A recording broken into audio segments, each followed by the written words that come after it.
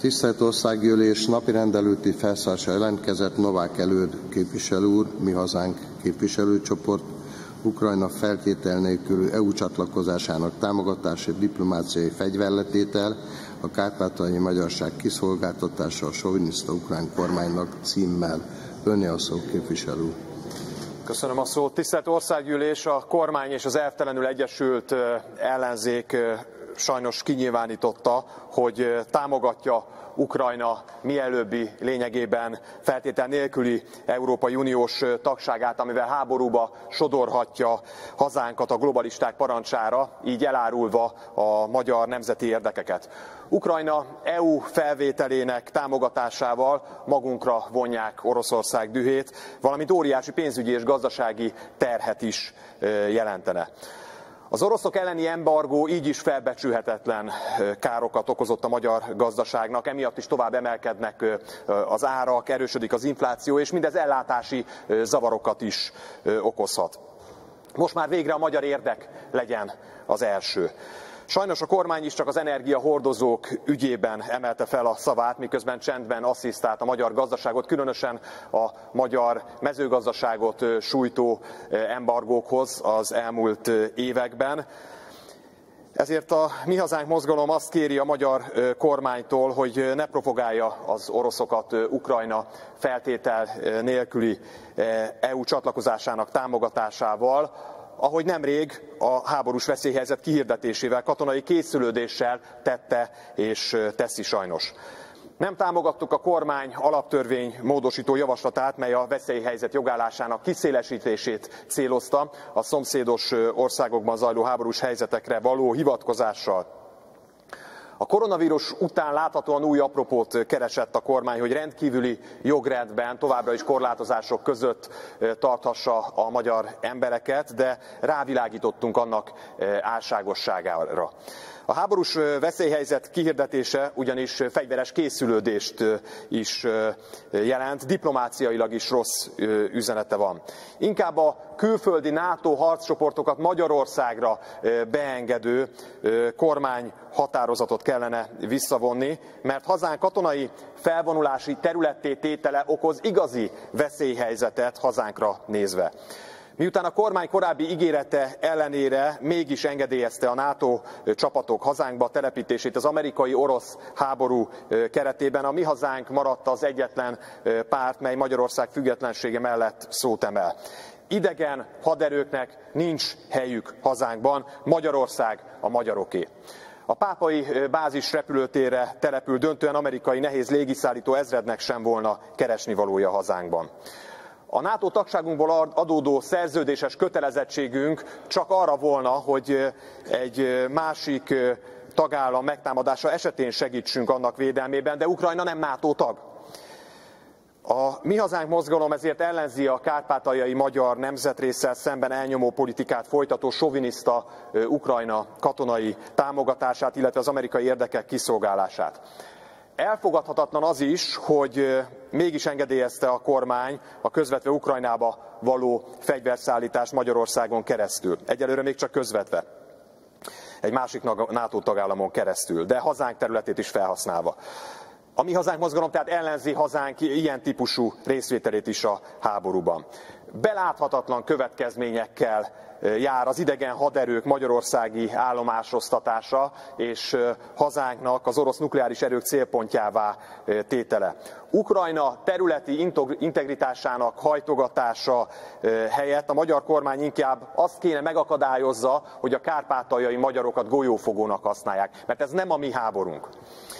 A Magyar Honvédség ne legyen az Atlantista Katonai Szövetség feláldozható segédcsapata. A magyar nemzet számtalan fiát áldozta az idegen érdekekért vívott háborúkban. Itt az ideje e rossz hagyomány megszakításának. Ma már sajnos csak a mi hazánk képviseli az 1848-as márciusi ifja követelését, miszerint magyar katonáinkat ne vigyék külföldre, a külföldieket vigyék el tőlünk. Ellenezzük a Magyar Honvédség külföldi megszállásokban való részvételét is idegen érdekek szolgálatában. Az Afganisztánban, Irakban, Maliban és hasonló megszállásokban való részvételünkre költött milliárdokból inkább vonzóbb itthoni javadalmazást és modernebb felszerelést, komolyabb hazai hadgyakorlatokat biztosítanánk honvédjeink számára. A külföldi szolgálatokat előtérbe helyező moduláris rendszerű haderőfejlesztés helyett a haza védelmét önállóan ellátni képes honvédség összfegyvernemi fejlesztését és tervezését szorgalmazza a Mi Hazánk honvédelmi programja. Ajánlom tehát mozgalmunk szakpolitikáját megfontolásra a nemzeti függetlenség megteremtése érdekében. Köszönöm szépen. Köszönöm. Tisztelt Országgyűlés, a kormány nevében Mencer Tamás államtitkár úr kíván válaszolni. Ön szó államtitkár úr. Köszönöm a szót, tisztelt elnök úr, tisztelt ház, tisztelt képviselő úr. Ha jól értettem a felszólását, van egy határon túli vetülete, illetőleg egy, egy Magyarországra vonatkozó vetülete is. Engedje meg, hogy a külhoniakkal kezdjem, ugyanis egy nagyon fontos kérdést vetett fel, egyébként is a Nemzeti Összetartozás napja után vagyunk, jelesül a külhoniak képviseletéről beszélt. Szeretném tájékoztatni önt és a tisztelt házat, hogy külpolitikánk sarokköve a külhoni magyarok képviselete, nekünk ez a szívünkből jön, tehát az Orbán kormány soha nem hagyta magára és soha nem árult el a külhoni magyarokat, és soha nem is fog így tenni, épp ellenkezőleg mindig ott vagyunk mellettük, és mindig kiállunk értük.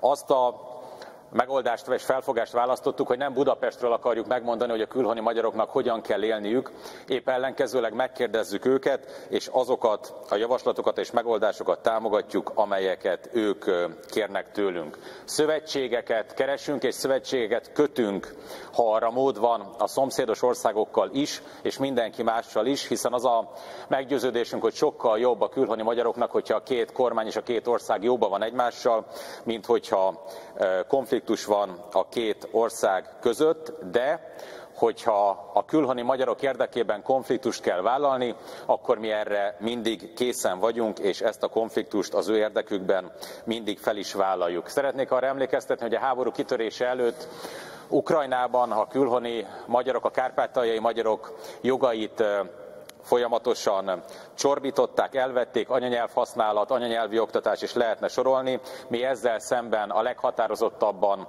felléptünk, nagyon sok nyomásgyakorlás kellett emiatt elviselnünk, illetve ezzel számolnunk, de mindig ott álltunk a kárpátai magyarok mellett. Ugyanakkor kitört sajnálatos módon a háború, mint az mindannyiunk előtt ismert, éppen ezért a korábbi konfliktusokat félretettük, legalábbis ideiglenesen, és segítünk a bajban lévőknek, magyaroknak és nem magyaroknak egyaránt. Mint az ön előtt is ismert, 740-750 ezer ember menekült már el a háború elől Magyarországra, 2000 tonna körül van az a segélyszállítmány, amelyet innen vittünk oda. Varsóban külügyminiszter úr öt pontos felajánlást tett, iskola, kórház újjáépítésére, mobil otthonok létrehozására, Nyugat-Ukrajnában a belső menekültek részére, és lehetne ezt sorolni.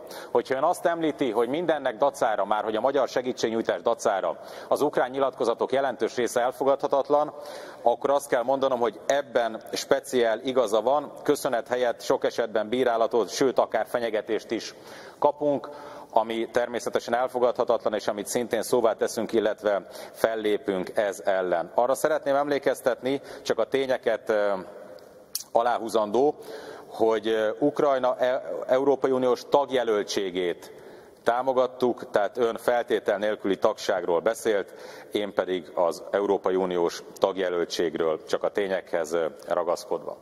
Ami pedig a szélesebb belpolitikai spektrumot illeti, a magyar politikai kontextusban van a kormány, ugye a baloldal, és most szélső jobboldali pártként önök, az látható, az látható, hogy a baloldal felfogása nem változott, tehát a, a külhoni magyarokat a Gyurcsány Ferenc vezette baloldal továbbra is támadja, most itt éppen Niedermüller Péter örült Trianonnak a Gyurcsány pártból korábban, Bauer Tamás vezette le hosszú eszében vagy dolgozatban az, hogy Trianon miért igazságos, vagy tulajdonképpen igazságosabb, mint a helyzet korábban volt, tehát nyilvánvalóan a baloldalra a külhoni magyarok nem számíthatnak, és egyébként meggyőződésem szerint az önök, hogy finom legyek, nem túl átgondolt politikája is veszélyes lenne a külhoni magyarokra. Ami pedig végezetül az országot illeti, ön említette a magyar érdeket,